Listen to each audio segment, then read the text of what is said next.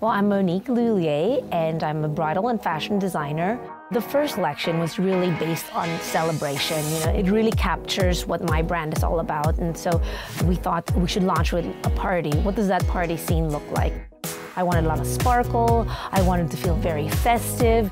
And a signature color for me is rose gold. I use it throughout my collections. And I just think it's a wonderful blend of modern and femininity. And it's just special. And the type of lighting that you get when it reflects from this material is really special. So for the key item that inspired this collection, I drew from my fashion collection this gown that I had done. It was called the Heart Dress. It was a blush pink tulle gown, and it had rose gold hearts dripping all over it. And I thought, how wonderful this idea of translating that to homeware. And so that's where the initial concept came from. A couple of years back, I had the pleasure of starting to work with Pottery Barn Kids.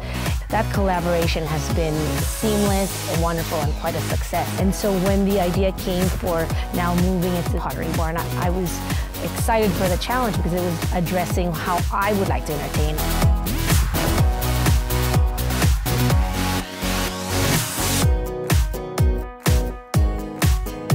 To find out more, please come and visit us on potterybarn.com. Bye.